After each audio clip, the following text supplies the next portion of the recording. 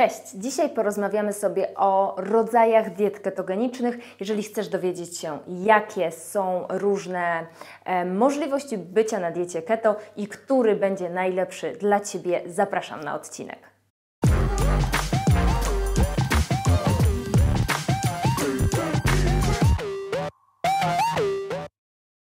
Na przestrzeni lat wykształciły się różne podziały diety ketogenicznej. I pierwszy podział to jest ten podział pod kątem e, procentowym makroskładników, czyli białek, tłuszczów i węglowodanów, ale później chcę z Tobą omówić też podział pod kątem produktów, które spożywamy. Wiadomo, że różnice pomiędzy tymi e, rodzajami keto są płynne, e, ale mam nadzieję, że ten film pomoże Ci właśnie poznać y, te najważniejsze różnice pomiędzy różnym prowadzeniem diety keto i wybrać e, tą formę, która będzie dla Ciebie najlepsza. Zacznijmy od pierwszego takiego rodzaju ketozy, przez który chyba w ogóle o diecie keto zaczęto mówić, zaczęto ją badać, zaczęto ją stosować. To jest ketoza kliniczna. Nieraz mówi się tradycyjna, natomiast moim zdaniem to słowo kliniczna jest dużo bardziej adekwatne, ponieważ jest to mm, rodzaj wręcz e, leczenia albo wsparcia mm, leczenia osób chorych w szpitalach. E, już ponad 100 lat temu było to praktykowane, jest praktykowane do dzisiaj. Niektóre jednostki chorobowe, takie jak chociażby choroby neurodegeneracyjne, pewne niedobory transporterów glukozy, e, jeżeli dana osoba jest w stanie um, wysokiej, e, głębokiej ketozy klinicznej właśnie, ma bardzo wysoki poziom ciał ketonowych, zazwyczaj powyżej dwóch, nawet trzech, e, to wtedy jakby pewne objawy chorobowe ustępują, albo przynajmniej lepiej można sobie e, z nimi radzić. Tak na przykład bywa w sytuacji padaczki lekoopornej, i niektórzy pacjenci dobrze reagują właśnie na dietę ketogeniczną, nie mają wtedy ataków. Taka dieta jest bardzo rygorystyczna. Mówi się o proporcji 4 do 1, czyli 4 porcje tłuszczu na jedną porcję białek i węglowodanów. To jest ponad 80% tłuszczów w diecie i jeżeli nie chorujesz na żadną z tych chorób, to nie polecam Ci e, takiej diety ketogenicznej, bo niesie to ze sobą ryzyko e, szczególnie no, u dzieci, słabszego wzrostu, problemów z nabieraniem e, masy ciała, problemów nieraz kognitywnych i po prostu niedoborów pokarmowych, jeżeli musimy tą dietę prowadzić aż tak e, rygorystycznie. Natomiast drugą e, wersją diety keto, już taką, którą stosuje pewnie większość osób, jest standardowa dieta ketogeniczna, z języka angielskiego Standard Ketogenic Diet, być może gdzieś skrót SKD Ci się rzucił w oczy, no to właśnie e, to jest od tej diety, od tego rodzaju diety keto. I tutaj mamy jakby te proporcje takie bardziej płynne, natomiast to jest mniej więcej do 10% węglowodanów, od 15 do 30% białka i e, powyżej 55, 60 do 80% tłuszczów. I to jest takie keto, mm, które można już w miarę dobrze zbilansować i które bardzo wiele osób plus minus sobie prowadzi.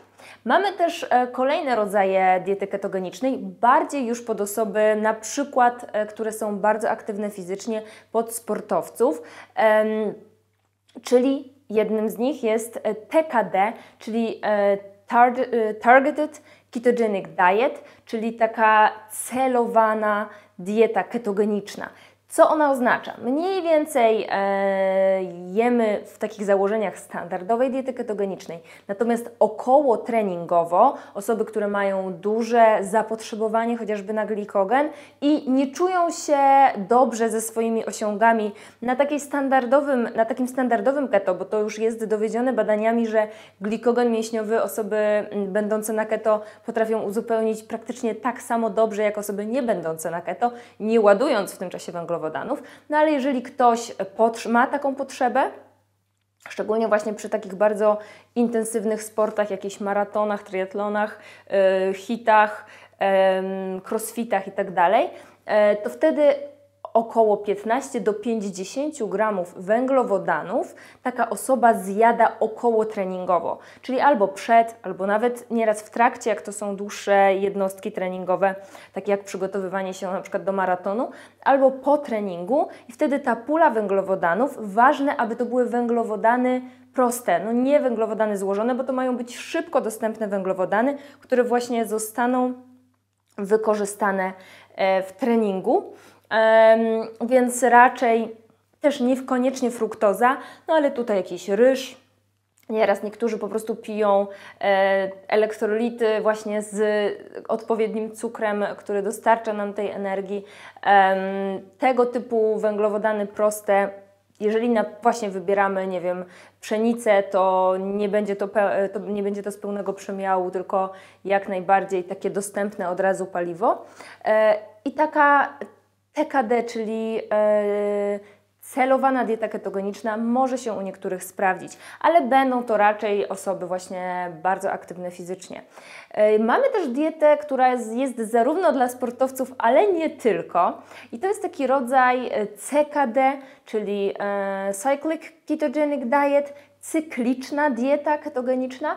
Ona oznacza, że tak naprawdę zmieniamy sobie te proporcje od takich standardowych ketogenicznych do mocno węglowodanowych, gdzie w ciągu dnia jest od 100 do 200, a może u niektórych nawet 500 gramów węglowodanów.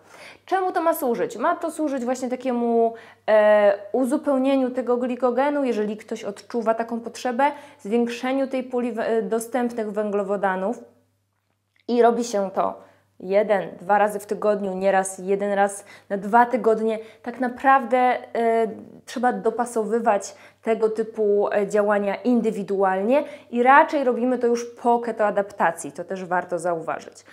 Ym, I znowu, tak jak mówiłam, może to się sprawdzać u sportowców, bo na przykład ktoś, yy, nie wiem, w soboty uczestniczy w jakichś dłuższych biegach, maratonach i wtedy dużo lepiej czuje się, kiedy jednak jego głównym źródłem jest glukoza yy, i są cukry.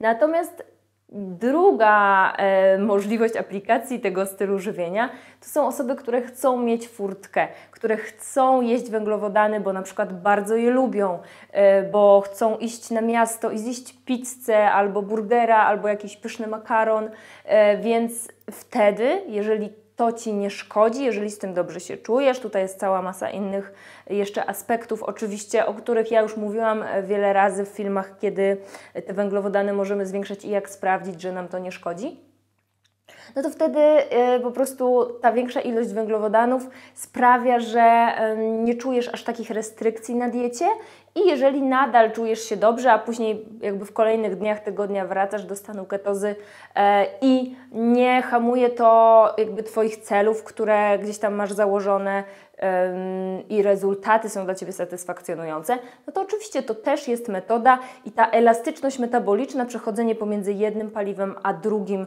czyli pomiędzy węglowodanowym a tłuszczowym z ciał ketonowych, to jest coś, czego też nie powinniśmy się bać, jeżeli tylko Ci to służy, bo jest wiele osób, które nie będą dobrze funkcjonować na takim żywieniu, ale to są właśnie te główne podziały diety keto pod kątem makroskładników. Jest jeszcze e, jeden rodzaj diety ketogenicznej, który trochę się zazębia z pozostałymi, ale chcę Ci o nim powiedzieć.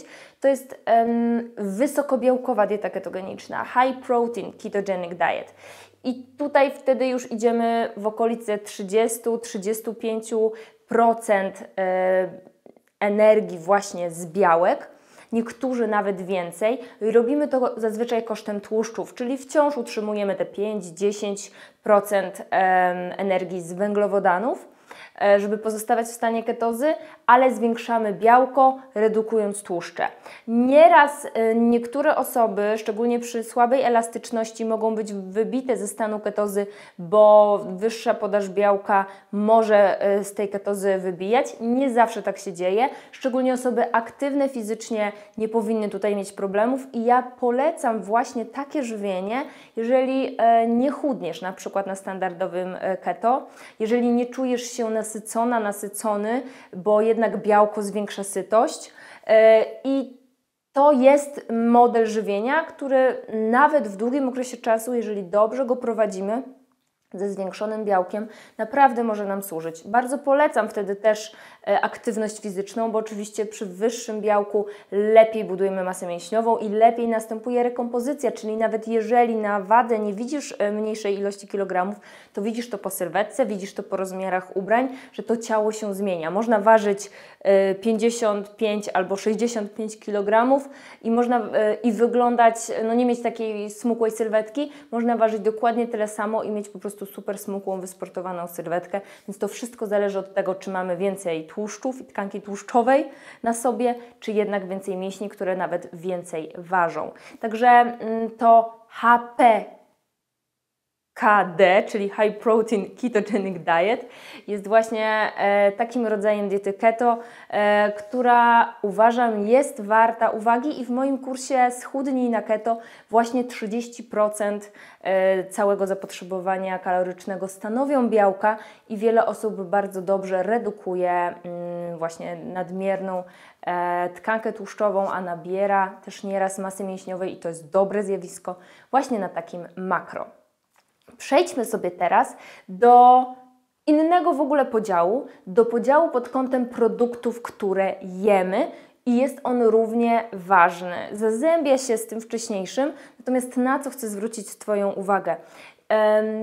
Wciąż to jeszcze jest, natomiast wydaje mi się, że już mniej, że niektóre osoby w ogóle na keto nie przywiązywały wagi do tego, co jedzą, jakiej to jest jakości, byle było dużo tłuszczu, byle były ciała ketonowe we krwi.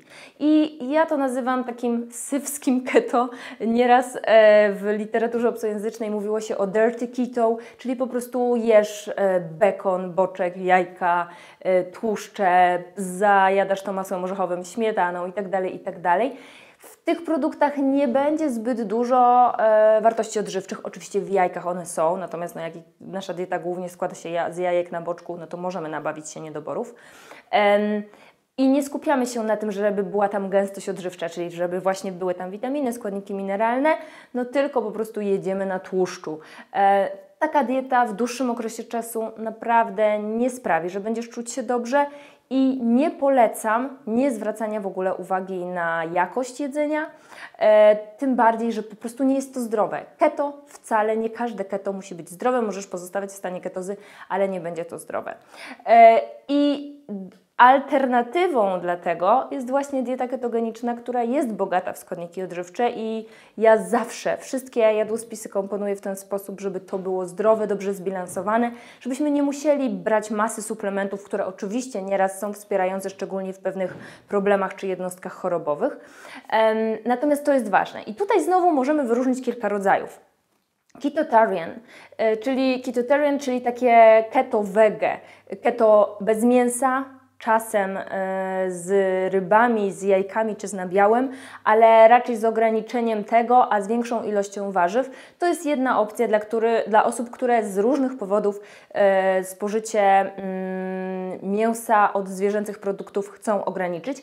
Wtedy zazwyczaj mamy trochę większy procent węglowodanów i nie jest to dieta raczej z tych wysoko, wysokobiałkowych, ponieważ te źródła białka główne, które e, są stosowane przy dietach wegetariańskich, wegetariańskich, nie keto, no tutaj odpadają ze względu na jednak dość duże dość duży procent e, po prostu węglowodanów w tych produktach, takich jak jakiś groch, soczewica e, i tego typu produkty. natomiast e, z drugiej strony mamy właśnie bardzo odzwierzęce keto, które teraz jest coraz bardziej popularne, czyli takie nawet keto carnivore, czyli dieta, która bazuje właśnie na mięsie, rybach, jajkach, e, czasem z jakimś e, dodatkiem właśnie nabiału, czy z dodatkiem, dosłownie z dodatkiem owoców, które tutaj z innych ideologicznych względów są akceptowane. O karniworze być może jeszcze sobie powiemy.